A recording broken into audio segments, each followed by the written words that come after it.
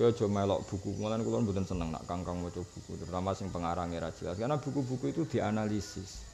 Kadang-kadang analisisnya butuh mungkin gelar doktor, gelar apa. Jadi beda kalau yang dikarang ulama. Misalnya Muhammad itu butuh gelar, butuh sekaruan beliau seorang doktor, profesor itu butuh gelar. Wae ngarang yang ngarang wae ikhlas, nopo ngarang yang ngarang wae ikhlas. Yang jelas keliru wong amati bagaimana mungkin Kanjeng Nabi diganti Abu Bakar wong dia putu. Wong kudu sadar Hasan Husain pas iku iku ijek cilik. Wong neng hadis jelas bahkan Nabi sholat pas sujud wae ditumpaki Hasan Husain. Mergo ijek cilik. Kan yura kebayang pas Nabi wafat beliau jadi khalifah. Apa pun hormatnya kita kepada beliau, secara teori gak mungkin jadi khalifah karena Nabi piyambak sing nyarat no khilafah iku kudu dicekel wong akil balik. Paham ya? Jadi semua itu ana aturane napa? Dan kita sangat menghormati Sayyid Hasan Husain. Ini sedengan ke tiba itu sedengan. Oh, sedengan dihormati wa ila sibto ini nantasibu nasabah ma fihi mentahoni. Terus Sayyid Ja'far Al-Barjanji ya gitu, apa ya umul itrotan nabawiyah terus wa ya umul sahabata wal adba'a wa man wala. Terus jadi itu semua harus jadi maklumat ke kita bahwa para habaib termasuk Sayyid Al-Barjanji itu juga memaklumatkan bahwa ini solawat ini, rahmat ini tentu utamanya untuk Nabi. Setelah Nabi untuk al itrotat tohirotan nabawiyah dan setelah ini waya umus sahabata wal adba'a wa man wala dan semuanya sahabat kita dan itu jadi ciri khas madhab ahli sunnah napa? Jamaah. Dan itu sudah seperti itu. Nanti hatta nal sehingga nanti kulo jenengan suan pangeran dalam keadaan mahabbatu ahli bait wa mahabbatu ashabi rasulillah ajmain. Ya ada kata apa? Ajmain. Karena orang Syiah ya hormat sahabat tapi milih Ali milih ini. Lagi kita apa? Ajmain. Apa? Kita harus memaklumatkan apa? Ajmain. Wa ya ummus sahabata wal atba'a wa man wala itu kalau neng sing pas mahalul lho apa?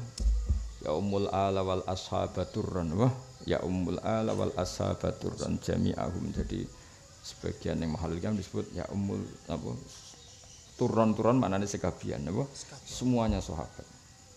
Eling-eling ya terus wau ngertos jadi rofido itu sing bener ora kok rofido itu orang yang membuang kepemimpinan Abu Bakar Umar buatan justru rofido itu orang-orang Syiah sing meninggalkan Zaid bin Ali. Padahal Zaid bin Ali itu Habib wong alim alama ditinggal wong Rafidah mergo Zaid bin Ali diprovokasi anti Abu Bakar Umar dan beliau menolak. Jadi far Rafidah firqatun rafadu nasihata Habib Zaid bin Ali. Sebenarnya sing diaran Rafidah apa? Karena membuang atau menolak nasihat Zaid bin Ali supaya orang mereka itu hormat sama Abu Bakar Umar. Dong ya jelas apa Said Muhammad bi. Qalu idzan narfuduka famin thamma qila lahum.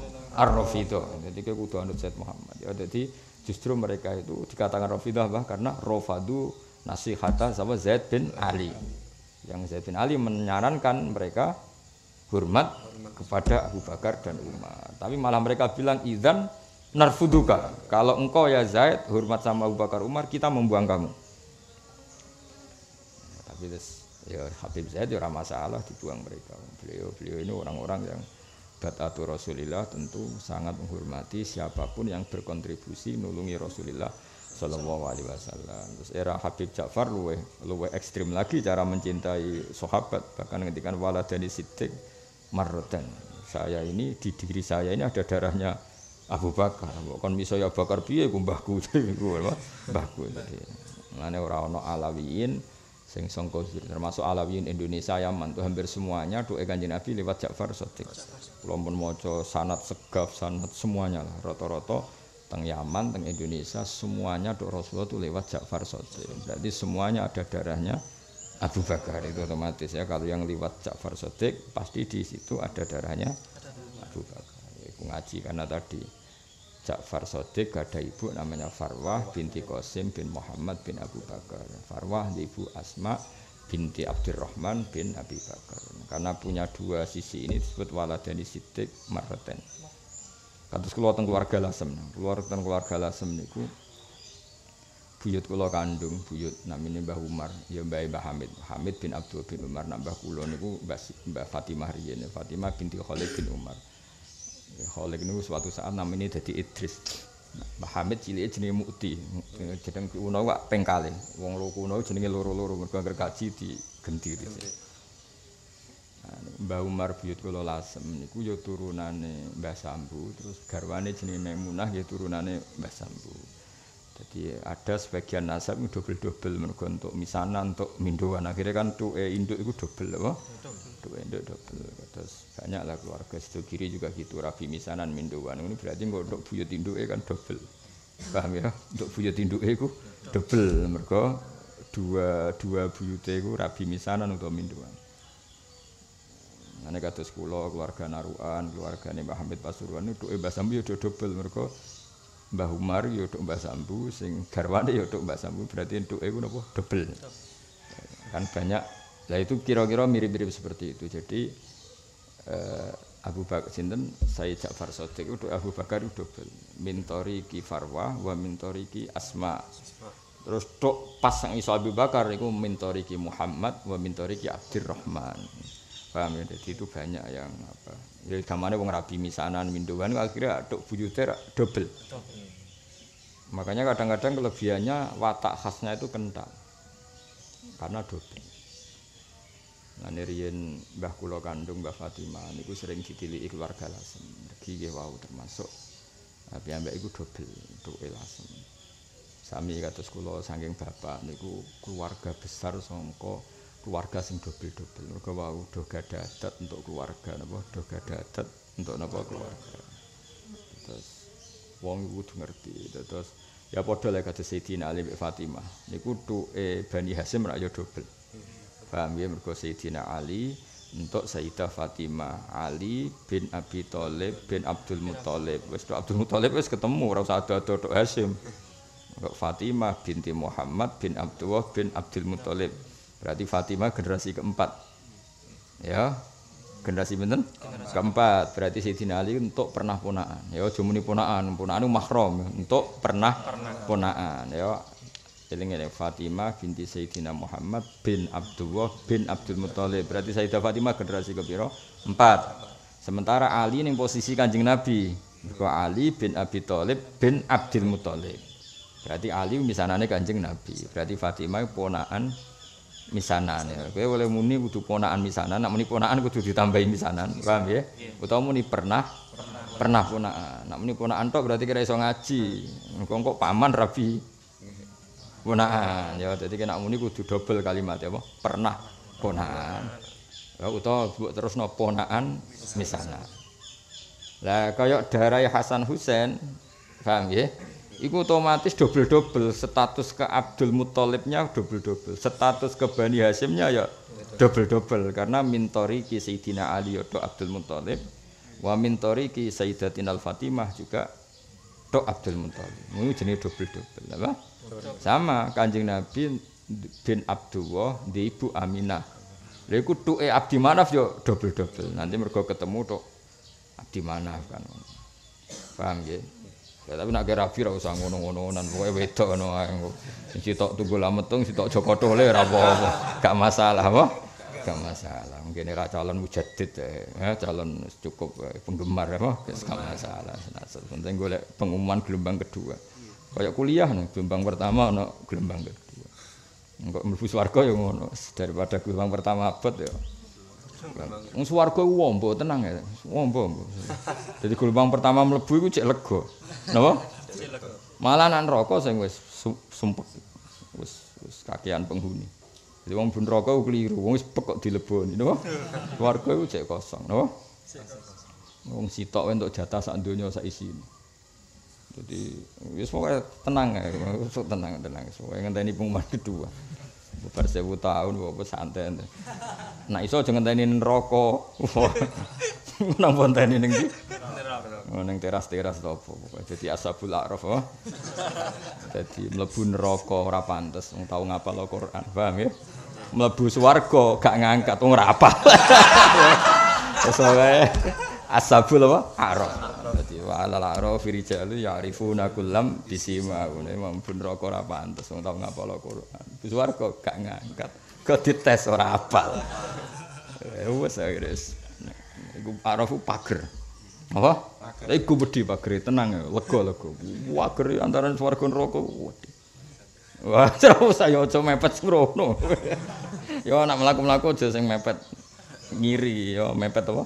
Nganan, wis ngiler Allah? Kan ngono ceritane Ashabil Araf. Dadi nek ndelok wong ning swarga ku ngiler nuwangis ya Allah, mosok moroh tok. Ora wong swarga bojone wayu-ayu nangis. Bareng nangis terus mulai polah jaluk mlebu swarga. Wes pangeran gak kurang pas, langsung diadep non neraka. Ora wong disiksa ampun Gusti, sementing mboten mlebu neraka. Ora mlebu swarga lah, sing penting gak mlebu neraka. Wes ngono. Wes gak jaluk swarga mboten itu sementing. Hari iku diadep nang ning swarga. Ngiler meneh. Eh digarap tok wis. Wis sabar napa? Sabar. Tetep suatu saat mlebu swarga. ana tanggale ora ana taune mau dadi. Ya ana tanggale. Tapi kapan, Kang? Februari, bareng Februari kliwat ora tahun iki pokoke. Ya masyhur ana tanggale ora ana apa? Ora ana taune. Ya eling-eling ya kula nu bangga tenan ngaji niki bangga nggih seneng mergo kita niku kepengin dadi madzhab ahli sunnah wal jamaah sing sesuai riwayat napa Ke sekarang banyak kajian aswaja, kajian nasional jamaah kadang sing ngisi orang yang nggak pernah mondok. Jadi malah tok ndi aswaja ver. Kene sing wong alim e bingung. Nek cara bapak nak zaman bapak cek sugeng nak ngrungokno ngono ah, aku ngrungokno tambah goblok. Karena iku. Lha ora tau mondok dadi tutore ahli sunnah wal jamaah. Wis disingkat aswaja. Terus ngomong ngalur ngidul. Lah sing diomongi kadang ora tau ngaji. Lah iku kan ribet kan. Nah sing tau ngaji kan mau bingung tok iku kitab endi kok tok kono barengan. Ya tapi kayak gedeng ya tuh, sampai dia ora iso dadi tutor, ya ora payu. Ya wis nampa takdir napa. Cuma cara kula, cara kula pribadi. Nak mazhab mahami ahli sunnah jamaah ya nganggo kitab sing diulang wong alim sing sanate jelas. Meskipun mereka ya berhak berak ngomong tapi mbok yo ngomong sing umum-umum ae misale carane urip sejahtera. Trik ngadepi mertua cerewet ini malah aku seneng. Ora yang ngomong asal usul siah gini asal mesti banyak salahnya karena ini wilayah yang butuh detail apa? Ya kayak tadi mereka kalau nerangkan Rofido itu kelompok yang menolak Abu Bakar Umar. Sebenarnya enggak justru Rofido itu orang yang nyuwun sewu ngelawan Habib Zaid bin Ali. Padahal mereka menjual ahlul bait. Paham ya? Mereka kan orang yang memaklumatkan diri bahwa mereka pecinta ahlul bait. Tapi nak delok kitab Sayyid Muhammad ini justru mereka menolak sarannya ahlul bait yang bernama Zaid bin Ali yang beliau menyarankan mereka itu menghormati Abu Bakar Umar. Dong ya benar. Itu kan beda sekali sama yang beredar. Ya tentu kita lebih percaya Sayyid Muhammad. Karena ya tadi, sapa sing ora Sayyid Muhammad. Sing riwatno iki orang-orang sekali berbah mun Gus Naji, orang-orang alim, orang-orang soleh. Sing maca aku, gak salah terkip, ora salah terjemah jelas. Sing ngaji sing bawa alam. Iku piye? Ya wajar to cang ngaji salam iki ngaji. Kalau sudah pinter jadi kiai kan. Iku kudu nganggo ilmu yang Madura. Sudah baca ini enggak bisa baca, Pak. Kenapa enggak bisa baca? Kalau bisa baca jadi wali sih, Pak. Suwi kudu. Kudu dinggo madhab iku kudu. Kayak mau Madura sing ngaji. Men khidmah apa? Wareng takoki mung karena kan man rebuka. Ya lekat malaikat. Ngerti aku wong bodho mbok takoki. Takoki wong pinter iku sene dhuwur. Ya ide. Lah kayak ini adalah kasuf. Ya cung, cung goblok kok go mati le cung, cung. Sing cerita aku ki Madura. Ki Madura alim cerita aku. Ayo tak beden-beden iki. Paling ben mati jenengan. Ojo lek Gus. Aku gak iso nulungi. Ya tak pikir bener wong Madura ning dinggon takoki mbek wong alim. Takok kok ambek wong bodho. Malaikate kudu. Ya sampean malaikate kono ono. Kowe ngerti aturan wong takok. Fasalu ahla dzikri. Takok iku? Takok ya ambek wong pinter. Takok kok ambek wong bodho. Wah, wah.